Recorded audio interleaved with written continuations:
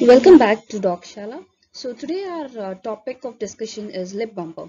So anybody have any idea of what is a lip bumper? So lip bumper is an example of a muscular anchorage device. Okay, so it is an example of a muscular anchorage device. So lip bumper is also having an another name. So it is also called as lip plumber so it is also called as lip plumber. So let us see how it looks like. So here you can appreciate the picture of a child with the uh, anterior incisors being uh, in a fashion of overjet. So so here the child is having a decreased uh, growth of the mandible so decreased growth of the mandible and uh, there is not appropriate uh, angle between the maxilla and the mandible which is making protrusion of the incisors.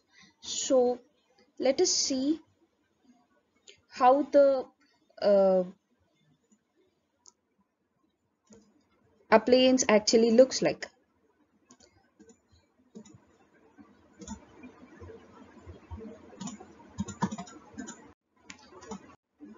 So this is how the appliance actually looks like. So you can appreciate here that the appliance is having uh, bands on molars. So these two molars are having molar bands and it is uh, they both are attached with a long loop of wire. Okay and this wire is having a acrylic component in the anterior end. Okay so these are the components of the lip bumper. So what are the components? The molar band, okay, and then U-shaped loop, okay, and also an acrylic component, okay. So let us further look into what it looks like on a patient. So this is how it looks like on a patient. So the molar bands are attached to the molars and this is the U-shaped loop that it is having that it is being placed on the mandible. So one thing you must remember here is that the lip bumper is used on both maxilla and also mandible. Okay.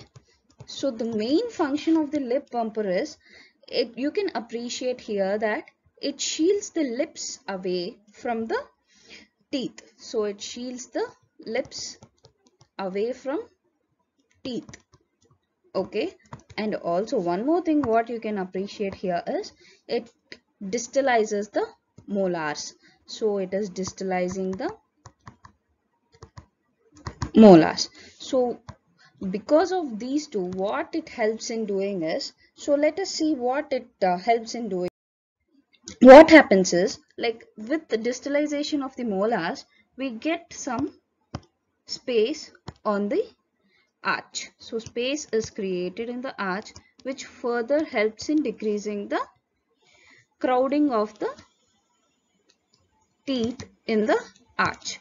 So you can appreciate here from this diagram that the when the lip bumper is used when the teeth are crowded like this there is distalization of this first molar creating space here and thus providing the space for the anteriors to erupt into proper spaces and thus helping in maintaining the form of the arch. So this is the main function of the lip bumper that we use.